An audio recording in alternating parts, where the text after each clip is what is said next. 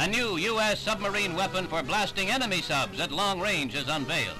The 4,000-pound missile with nuclear warhead is launched through a conventional torpedo tube. It is called Subroc, a contraction of submarine rocket.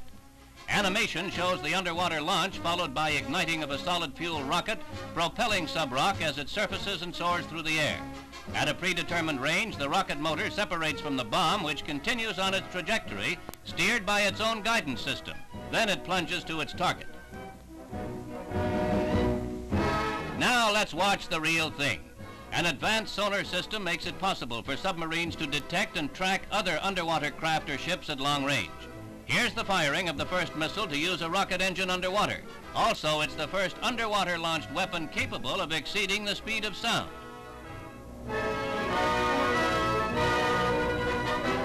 The range of the underwater to air to underwater missile is greater than any anti-submarine weapon except aircraft.